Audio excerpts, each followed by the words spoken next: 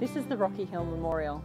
The idea for the memorial was conceived by the people of Goulburn in 1918, even before the war had ended. They were like many others in small towns across Australia. They sought to remember those who'd served, and in particular, those who never came home. More than 330,000 Australians served overseas during the First World War, and more than 60,000 never returned home. Inside, the Roll of Honour lists the, the names of those who served from the district and also those who died. For those who lost loved ones overseas and would likely never visit their actual graves, the memorial served as a substitute place to grieve, a place to remember.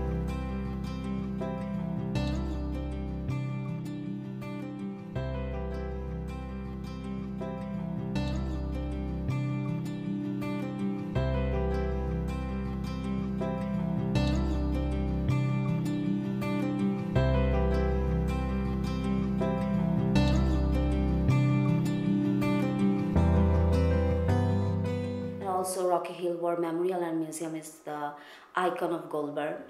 People love it for its historical significance and uh, its beauty.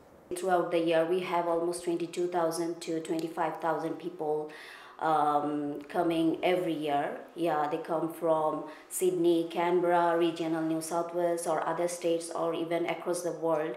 Yeah, so um, I think they come to commemorate and uh, we have people throughout the year to commemorate and also on Anzac Day they come and commemorate they show their respect. But I also think that they want to know more.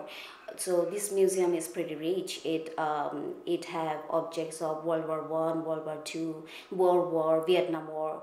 So yeah and also I think that um, we have lots of parents and school groups coming to make the children aware um, of the history and uh, they want to teach them about the sacrifices of their ancestors. And also um, lots of things are happening in this museum. We have different sorts of exhibition throughout the year. Um, like right now we are having an exhibition on world war ii so yeah and new objects and relics are always continuously being added to the museum through donation or by purchase yeah, so I think uh, this museum and uh, this memorial is pretty vibrant and very interesting to see. I find the two cannons in front of the uh, museum very interesting. Um, actually, they were captured during World War One. One, one from France and one from Palestine. And uh, they came, these two came to Goulburn in 1920 and they they were in the Belmore Park for a couple of years. Then they were brought to the War Memorial when uh, it was officially opened.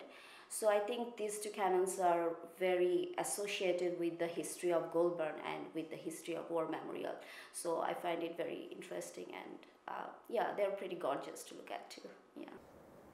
So people come and um, they are they become very proud of what uh, what their grandparents or parents did for uh, for the war. And and also they get happy they get sad they get excited. And some people they share their stories too.